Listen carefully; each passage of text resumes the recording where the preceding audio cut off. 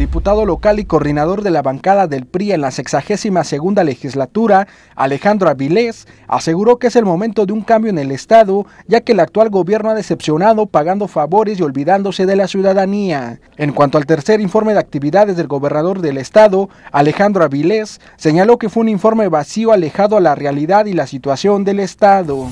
Acabamos de escuchar un informe donde la compañera María Luisa eh, lo expresó tajantemente, que corresponde a un mundo maravilloso.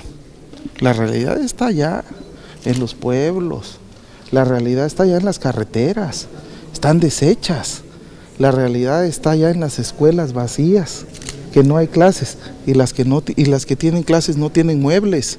La realidad está en los hospitales, donde últimamente las mujeres están dando a luz en las banquetas, en los jardines, porque no hay atención médica y las que logran ingresar a los hospitales no hay servicio porque no hay medicamentos ni equipo médico. Es ahí donde debe de ir el gobernador a recoger cada una de las expresiones del pueblo para hacer un informe. En el marco del 12 Congreso Mundial de Ciudades Patrimonio, el diputado lamentó que las autoridades están queriendo dar a conocer una ciudad que está fuera de la realidad, cuando lo que se necesita es darle una solución a todas estas problemáticas. Es como cuando vienen a hacer una película los de Hollywood, ¿no?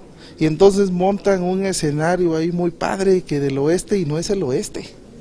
O cuando vinieron a hacer la película, una telenovela aquí de amor, y ponen las calles bonitas y limpias y eso no corresponde. Así lo hicieron, no es para más que una edición de una telenovela de lo que quisieran que pasara en Oaxaca. Pero eso no se arregla con buenas intenciones, ¿eh?